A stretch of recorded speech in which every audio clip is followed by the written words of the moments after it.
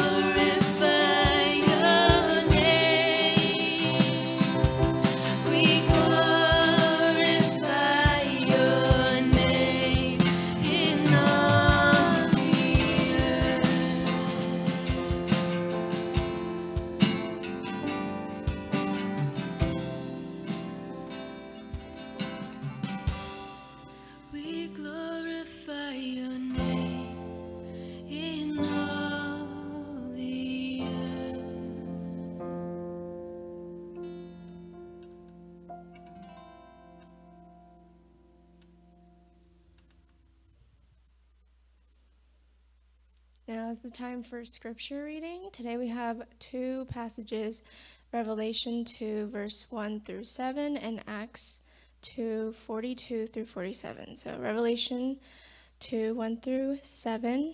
To the angels of the church in Ephesus, write These are the words to him who holds the seven stars in his right hand and walks among the seven golden lampstands. I know your deeds and your hard work and your perseverance, and I know that you cannot tolerate wicked people, that you have tested those who claim to be apostles, but are not, and have found them false. You have persevered and have endured hardships for my name, and you have not grown weary. Yet I hold this against you. You have forsaken the love you had at first. Consider how far you have fallen. Repent and do the things you did at first. And if you do not repent, then I will come to you and remove your lampstand from its place. But you have this in your favor. You hate the practices from the Nicolaitans, which I also hate. Whoever has ears, let them hear what the Spirit says to the churches. To the one who is victorious, I will give the right to eat from the tree of life, which is in the paradise of God. Acts 2 42 to 47. They devoted themselves to the apostles' teaching and to fellowship, to the breaking of bread and to prayer. Everyone was filled with awe at the many wonders and signs performed by the apostles. All the believers were together and had everything in common. They sold property, possessions, to give anyone who had need. Every day they continued to meet together in the temple of courts. They broke bread in their homes and ate together with glad and sincere hearts, praising God and enjoying the favor of all the people. And the Lord added to their number daily to those who were being saved. Good morning again. Welcome.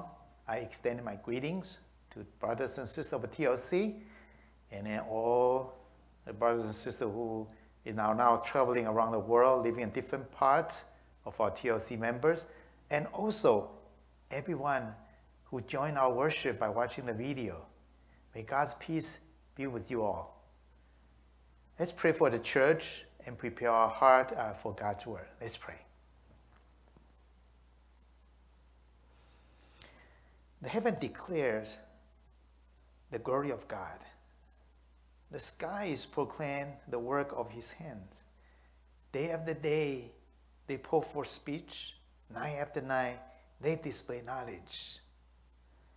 Our Heavenly Father, we thank you as we look at the, blue sky and embed ourselves with the, your tender sun. We thank you for this beautiful world and that you have allowed us to live in. As we started seeing the, the greenery on the, on the yard, we sense the spring. We sense the power of life. Lord, we thank you that the pandemic is gradually eased. We're so joyful to see the decline of the confirmed and the death cases. Though we continue to pray that the vaccination process will be smooth and effective, we pray that eventually the virus will be overcome and disappear. And pray that the people in this country and around the world continue to cooperate and to fight the virus. Lord, we pray for our college and graduate students in San Diego, out of town. They have been a tremendous force over leading the, the ministries in TLC. May you remember their services and continue to bless their study, campus life, and the ministry. Continue to guide them to follow your step because you have a wonderful plan for each one of them. And pray for Amber, who is going to move up to UCLA. And thank you for the extended time she has with us. Bless her for her study, her ministry, and campus life there. Lord, you call us to be a people, a sent people, to share the gospel, to disciple people around the world. So we pray and for our planning for the summer missions. With so many uncertainties that we can only say that uh, our understanding and knowledge and capability is so limited. But so we call out the master of the harvest to help us to plan. And so that the gospel can continue to be shared in San Diego, in Chula Vista, and in Taiwan. And those who participated can receive the spiritual blessings. But we also plan, plan for uh, moving our youth, the Youth fellowships uh, to be in-person meetings in April. Lord, I pray that uh, we will have the wisdom and then to get really prepared in all the safety measures that we need to take to ensure everybody's health. We also pray that our communication with their parents will be smooth so that we all feel comfortable for our children to come here and then to enjoy uh, the Christian fellowship and then also learning together.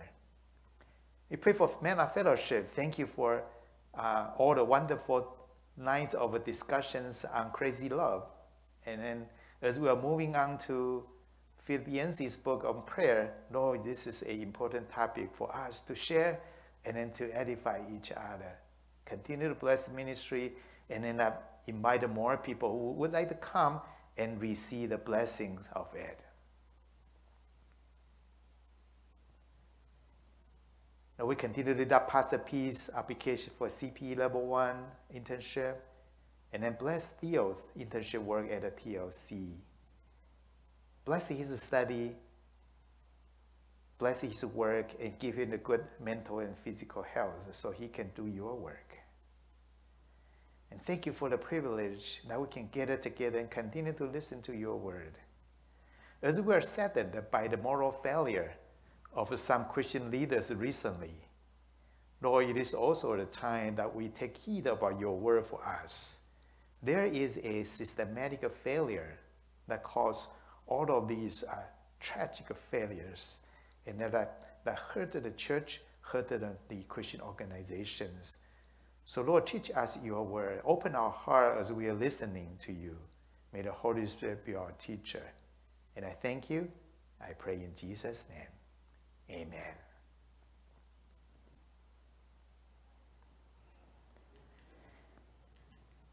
Bill Ravi Zacharias was involved in Christian apologetics for more than 40 years.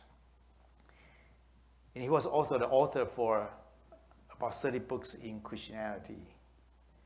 Effective apologetic style has, earned, has earned him the attention from the evangelical community. He was constantly invited as a keynote speaker uh, in Christian conferences. However, Mr. Zacharias has a dark side of his life.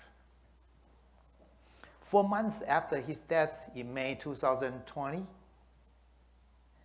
three women who work for or uh, who work at the two day spas he co-owned in Atlanta came forward alleging that Zacharias, Zacharias had sexually harassed multiple massage therapists, therapists over the course of uh, five years. A law firm hired by his organization, RZIM, after four months of invest investigation, confirmed the abuse by Zacharias and uncovered five more victims in the United States. And there were also evidences of sexual abuse by, this, by Zacharias in Thailand, Indonesia, and Malaysia. In his computer, the investigators found pictures and videos of hundreds of young women, some of them nude. Bill Hybels was once a senior pastor in a mega church in the Chicago area. This church, back to 2015, has an average of about 25,000 attendees on a single Sunday.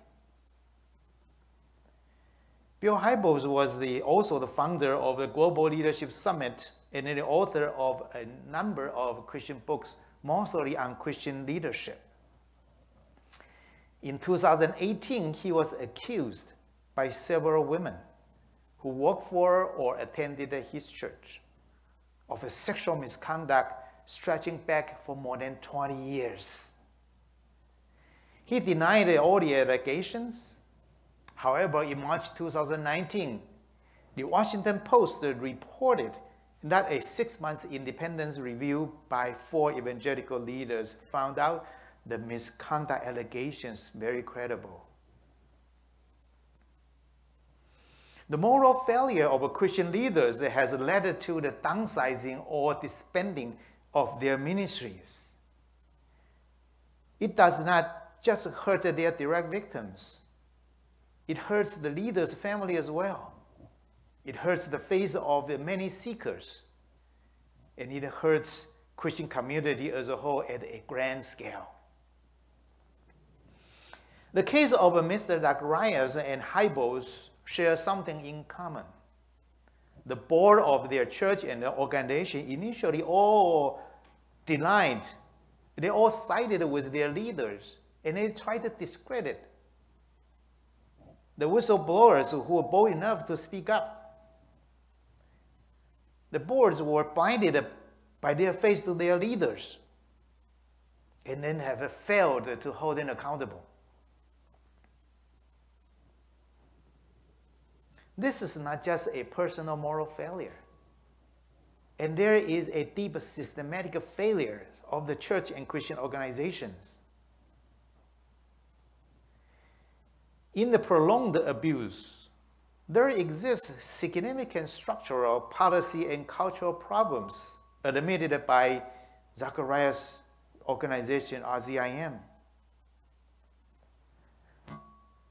And therefore, in these cases, the church is responsible. In fact, we are all responsible. Don't we all like to turn the saints into celebrities? Are we all responsible when famous Christian leaders and singers that we just praise them, overly praise them? And then so that to make them believe that they are something else, they are, they are, they are something special. Are we all guilty when these people rob God's glory because we overly praise them more than we praise God.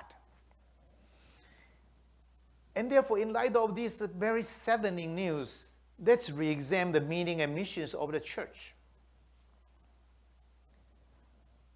As recorded in the Bible, and so that we can make sure that we are living out the identity of a church and then carry out the missions that the Lord Jesus Christ has given us. And in today's scripture, in Revelation, the last book of the Bible, Apostle John wrote to seven churches located at the western side, western end of Asia Minor. He wanted to strengthen them in uh, the face of persecution and pressure from the outside world. Christian expect, Christ's expectation is well spelled out in these letters, in the commendations, in the rebuke, in the warnings, and in the promises. And today, I want to cover the John's letter to the church of Ephesus, and with the focus on what is the true meaning and what is the true purpose of the church. Let me give you a little bit of a historical background about the church in Ephesus. The city of Ephesus, you can see in the map, in the Greek-Roman area uh, time, Greek-Roman time, was a city of a with a population about 200,000. It's a big city in that time. The trading center, especially notable, is the uh, religious artifacts based industry. Ephesus was the most important city in the Western Asia Minor or modern day Turkey. The riches, incumbers, and the religion enabled Ephesus to build a temple dedicated to goddess Artemis, uh, or in uh, called Diana, uh, Temple Diana by the Romans. And today, it is listed as one of the seven wonders of the ancient world. The Ephesians were able to construct a theater that could seat uh, about 24,000 people. Now, that was quite some amazing technology in ancient time. However, the level of the morality of, among the, the, the, the city population was very low. And then in Apostle Paul's third missionary journey, he worked there for two years and three months. With positive results among the Greek and Jews, God was performing extraordinary miracles through the hands of Apostle Paul.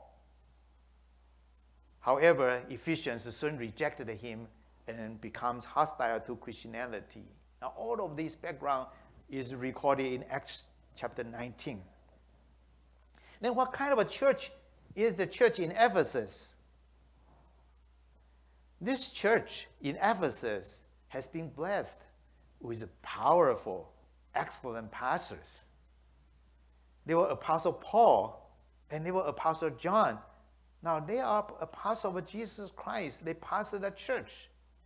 And then there's also Timothy, and who served there as a representative of the apostle and also a pastor there. Now, as a church, you cannot, you cannot call any, any stronger, power, uh, powerful pastoral team than Paul, John, and Timothy combined. Not only do they have a powerful pastoral team, they are also they also uh, had a good witness by their deeds. And according to Acts chapter 19, Ephesian Christians once were very engaged people. They're living out the kingdom values of their faith. And their, purpo- their purposeful life and their purposeful virtue, it caused the city to trans- experience a trans- tremendous transformation. People openly confess their sins. And sorcerers openly burn their scrolls. They no longer practice the magic. And all that, all those happen have uh, uh, caused, has threatened this corrupted religious and political system in the city. Christianity create, caused the world to be upside down in, in, in Ephesus. And the Ephesian people, Ephesian Christians, they also have a witness by word. They share the gospel. Acts chapter 19 says, The word of the Lord spread widely and grow in power. They have provided this place, the freedom and opportunity to be free from the bondage of superstition in this ancient world. So, what went wrong with the church? You read the uh, Revelation chapter, chapter 2, verse 1 to 7. Christ used a very harsh word against this church. This is the church was commended for their commitment to ministries. And in Revelation 2, that we notice that Jesus Christ had very detailed knowledge about their work. Jesus said they had a hard work undertaken for the church's ministry. They work hard for church ministry. They work very hard. It's so hard. And then they're also fighting against the false teachers. Try to stand correctly, theologically. And they also even willing to suffer for Christ's name under persecution, and then they did not bow down. So the question is, why these things are not enough? Why these things are not enough to please God? As we read on, Revelation told us it is because they have lost their first love. They have forsaken the love that they had at first. Even though the believers was, were modeled spiritually by powerful pastoral team, but they began to decline their love for God and the love for people, which is the, the most important commitment from the Lord.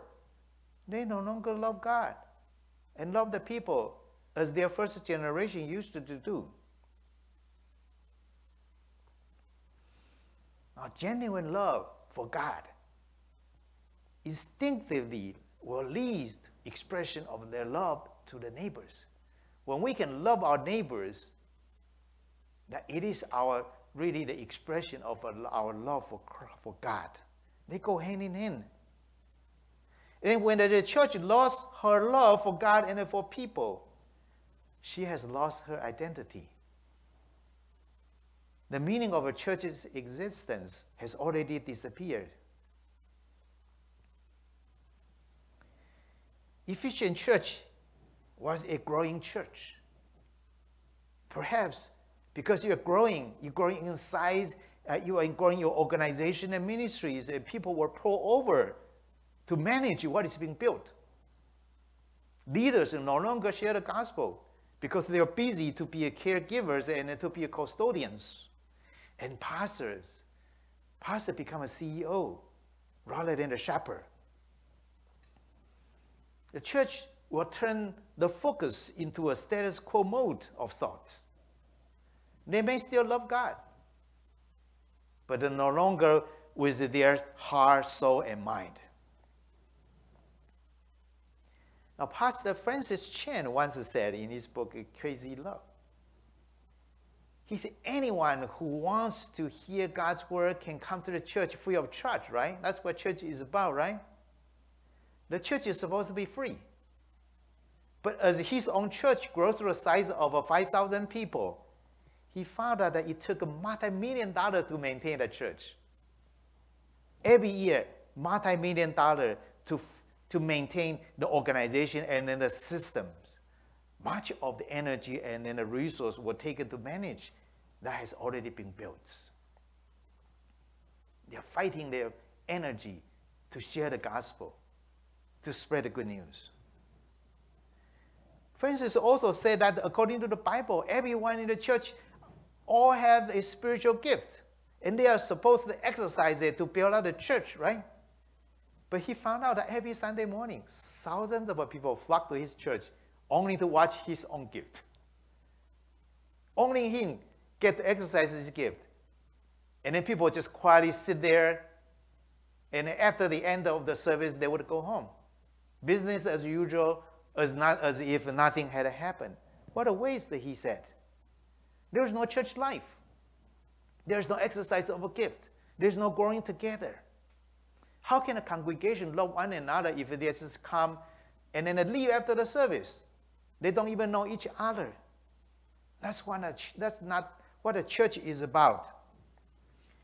Gary Nelson says, when we lost the passionate love, we have lost the radical purpose of our existence. Talking about the church. The members of Christ's body are no longer a church when they cease to love God and to love people. The Ephesian church has lost her identity. And this is why the, the, the, the Lord's words to them is also so harsh. And as a church, when the church lost the meaning and then the purpose of our existence, watch out. Other things will, will, will take place, will substitute. The congregation will be transformed into an audience. Proclamations now becomes performance, and then the worship. The worship will turn into entertainment. And we do see that in a lot of large churches in the United States. They hire professional musicians to do the worship. And then multiple camp campuses, thousands or tens of thousands of people, every Sunday just listen to their charismatic senior pastor to preach and then they would go home. There's no church life. And then I want to bring your attention to Acts chapter 2, verses 40 to 47. It gives us a picture of the function and the purpose of the church, of a meaningful church. And that is the first church in Jerusalem. What was the church like? What was a, ch- a meaningful church like? First of all, the church is a worship center of the community.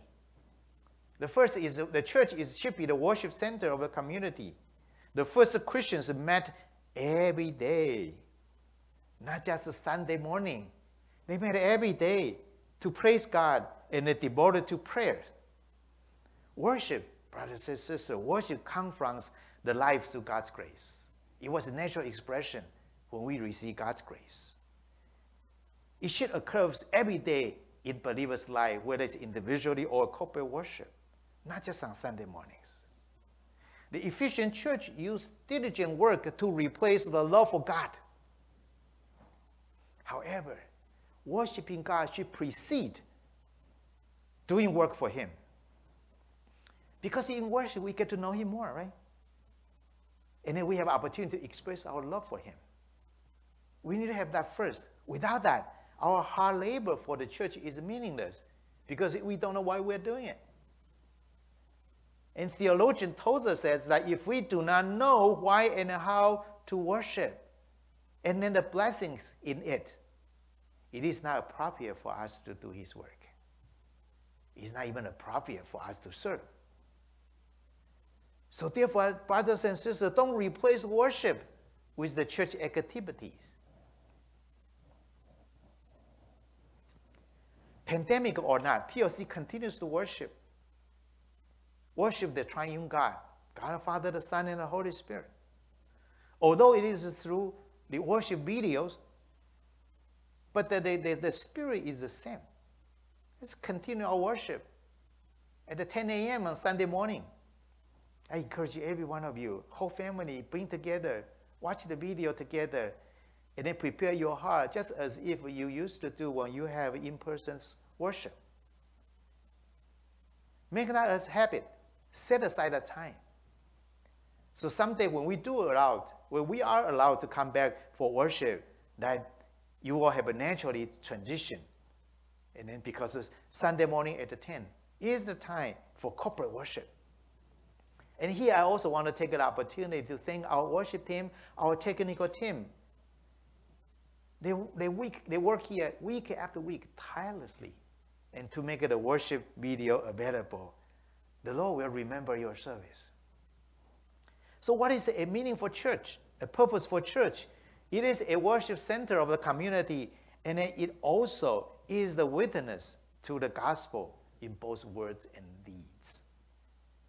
The church is the witness of the gospel and in the life that resulted from the gospels. And then the church used not only word, but also the deeds to do the witnessing. The context of evangelism is not just proclaiming the word, not just proclaiming the word, but also living out the word in life. As we read from Acts chapter 2, the first century Jerusalem church, they were devoted. They were devoted to learn God's word, right? They, they, they learn God's word, so they learn how to be disciple of Jesus Christ, so their life can, can be transformed. And then the life of Christ, the new life of Christ, can manifest in their life. And then you will become a good witness. This church met every day in the, the temple courts. That is a public place. They go to where people are and then, uh, and then do the teaching and then do the witness there.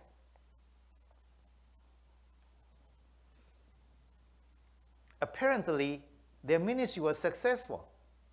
Their, uh, their, their testimony becomes attractive to their neighbors. People like the church. People like the church people.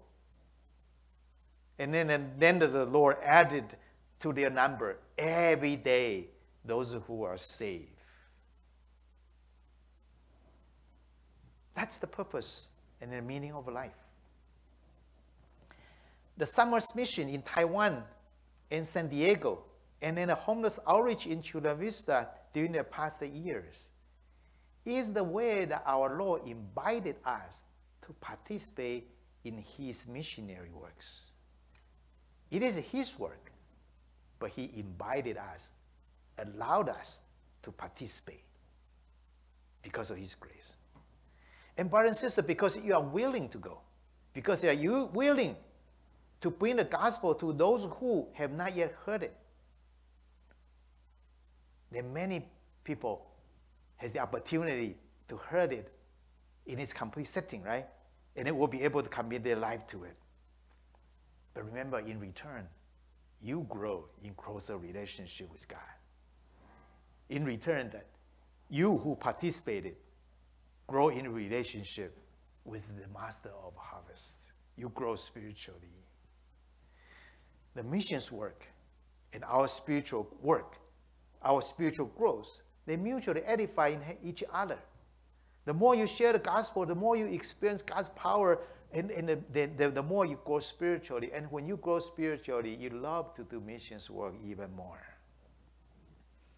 The pandemic should not stop our sharing the gospel. We need to creatively plan this year's summer mission. And then we need to work around all the difficulties. But in the meantime, continue to share the gospel in your own settings, in your own context. Use your relationship with your family, with your friend, classmates, colleagues. Bring the word to them through your, through your words and then through your deeds.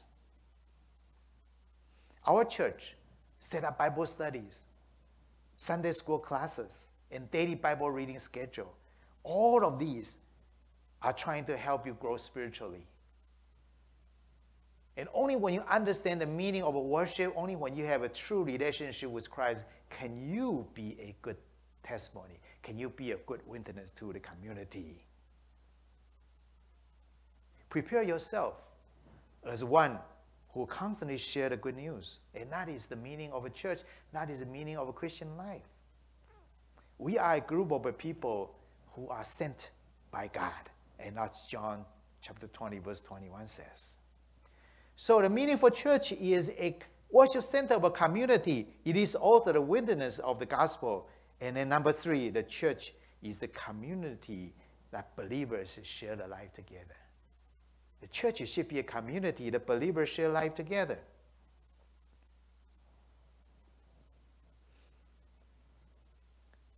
The first century church devoted themselves to fellowship, as the Bible says.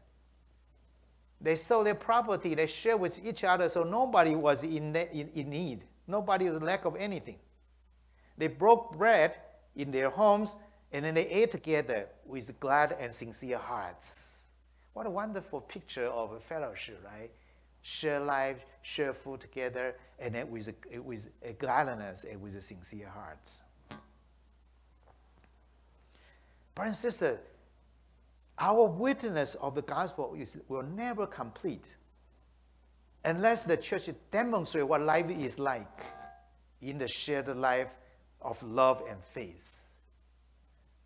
Our witness is never complete until that we can demonstrate to the outside world a community of a faith who share life. What, what does it look like? Let people see the power of a new life when the Christians really love one another. A community of faith, a community of faith shared life always start at the grassroots level, day to day. They bear with one another, they serve in love and in the forgiveness in the context of a grace. That is a powerful example to the outside world, isn't it? That will create a curiosity. This group is different. And I want to know more about the God who they, who they proclaim. However, we have to admit in the church history, the churches have failed to do that, what God has called us to do, to share life together. Fighting and disunity are the common theme in the church today. In addition, the modern day church cultures have very, very have many individualized Christians who don't share anything with, with anybody. The modern phenomenon in the, in the 21st century industrial environment, people are so busy, they come to the church and then they go home. But brother and sister, how can we grow spiritually when we are all by ourselves? The, the, the, the word the fellowship comes from a Greek word koinonia. It depicts a picture that believers can learn from each other, positively influence each other, and they may on occasion involve correction and rebuking each other. And all of these facilitate the brother and sister to grow together. And for this reason, I encourage everyone, encourage everyone to participate in fellowship meetings and reaching out to each other. Call them up, share some food with them, share your Bible knowledge, share your Christian life, care for others. Support others, brothers and sisters, and be supported.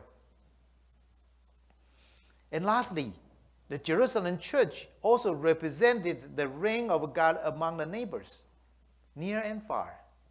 They involved their community. They gave it to the poor. And then they earned the favor of their, of their neighbors. They participate in the community so they have opportunity to establish that relationship, to serve them and then to in order to share the gospel with them. The both, the church, the church is both a messenger and then also a servant of their neighborhood. Before the pandemic, TLC used to collaborate with other churches, organizations to run fundraiser for Kenya. It was a meaningful work. That we would work with together with more than a dozen organizations and church to raise money for them. And we also do UCSD student ministry with many other churches. We participate in uh, the activity in Taiwanese Cultural Center. This is as a church, as individual, and then we also reach out to the community. That's what a meaningful church should be like. We don't share the gospel in a vacuum we don't put our, keep ourselves within the four walls of the church. We bring gospel out. We need to share life with others. And in the letter to the church of Ephesus, Christ admonished the, the, the uh, church in Ephesus to remember where they had fallen. And there was a warning there. Christ admonished them to remember where they had fallen. They need to repent and they need to change.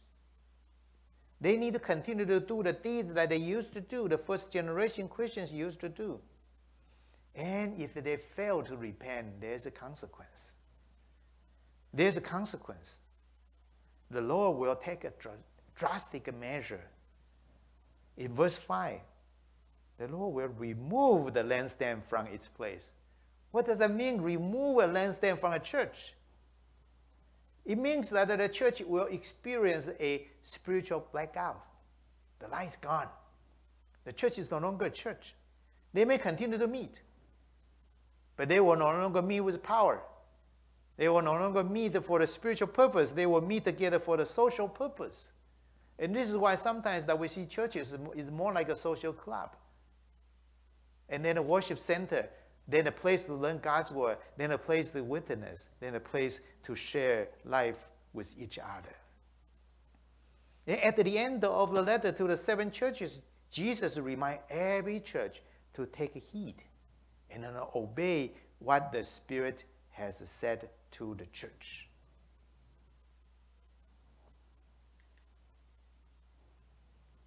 What the Spirit has said to the churches, everybody who has ear should listen. So this is, not just a message for Ephesian church. This is for a message for every church in our day.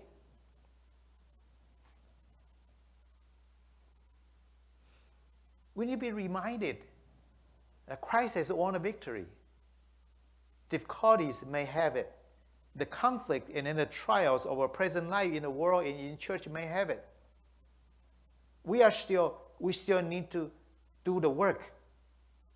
But the, the promise of Jesus Christ, the promise of Jesus Christ is that those who overcame will overcome, will be able to eat from the tree of life that is in the garden, in the paradise of God.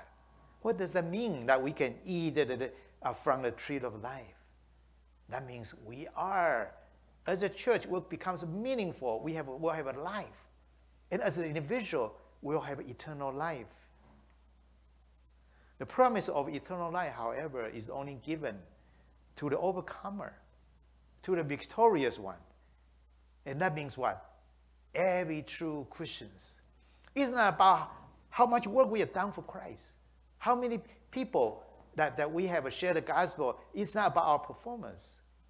It's about our relationship, that we are true believers, and then we lift up the kingdom value. We are faithful to God's calling.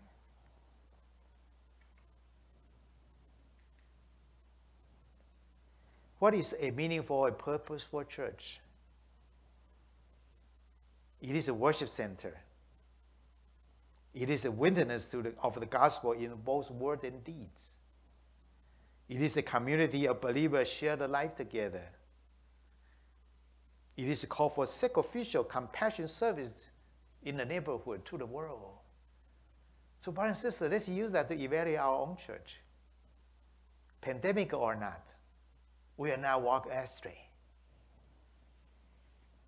The church will always live out its identity and carry out the mission that God has given to us, Jesus Christ has given to us. In light of a moral failure of Christian leaders and then the church deviating from her purpose, let's take heed. Let's examine ourselves as a corporate, as a church, and as an individual. Dear brothers and sisters, as a church or as an individual, if we are mobilized and energized by realizing that we are truly a people of God, that we, we understand our identity, right? We're people of God, right? So we, that knowledge can mobilize and energize us. And then we are empowered by the Holy Spirit that we want to live a different life, differently from our community, from those who don't know, don't know Jesus Christ. Then we can apply, if we can apply the values of a virtue in our faith community and in our daily life, then our people will be very, very curious to this atmosphere that we created. They will ask, Who is this God that you serve? Let's pray. Heavenly Father, you have this wonderful calling for your church. And we are saddened sometimes to see that church is deviating and then from the purpose and meaning you have given to the church. let alone carrying out the missions. In light of the moral failure of Christian leaders, we also see the systematic problem of the church. Lord, we need to come to ourselves. We need to repent. We need to come before you and continue to examine ourselves to see if we truly live up your wonderful calling. Teach us, continue to guide this church, the body of Christ, to continue to follow your steps, to carry out the mission you have given to her. And then, as your promise, that you will give eternal life to those who overcome. That you will be able to use the church as a light and salt of the community and to bring glory to you and to bless, bring blessings to those who have not yet known you. We thank you for this wonderful calling. And I pray all of these in Jesus Christ's name. Amen.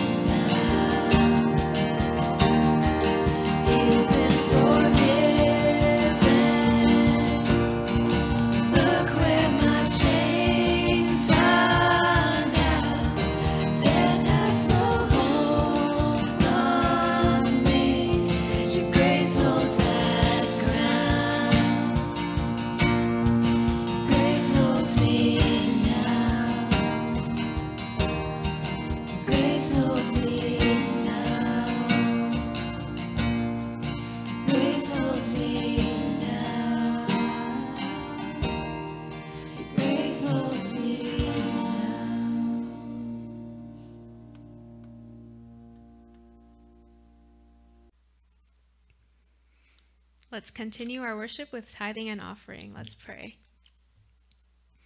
Dear Lord, thank you for giving us what we need when we need it. Um, thank you for the cheerful givers. I pray that you use what we have for your kingdom and that it will be in your will. Whatever is used um, will be what's best for your glory. And um, yeah, I pray this all in Jesus' name. Amen. This week's announcements number one, TLC, our Tender Loving Care Church, has a new logo. It's in the front and the back of our worship video, thanks to Amber for her artwork.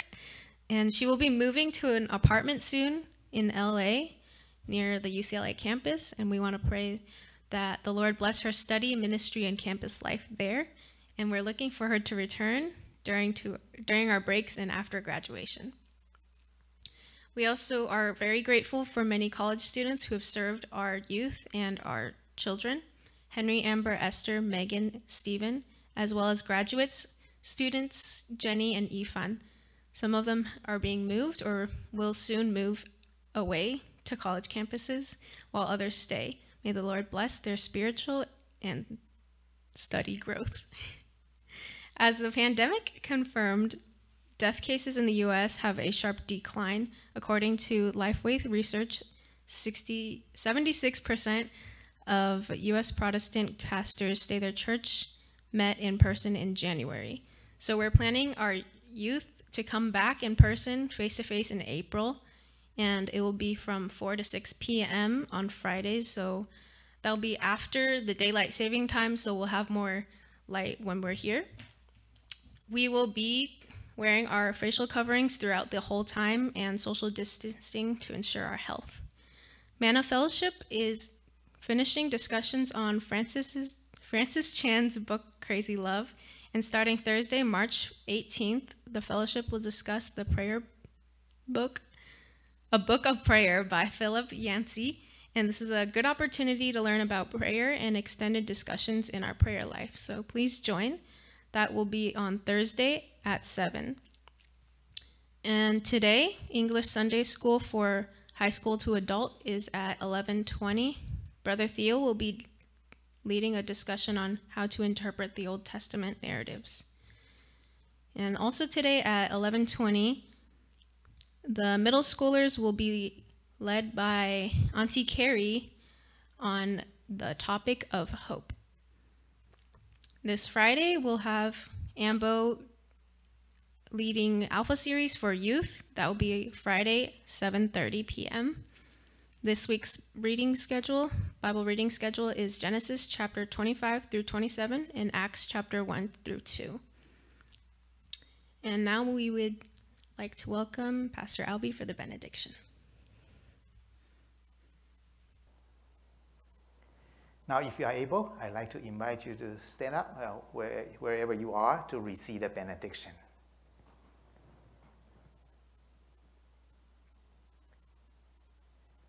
Now may the grace of the Lord Jesus Christ, the love from Heavenly Father, the communion from the Holy Spirit be with you all from now on until eternity.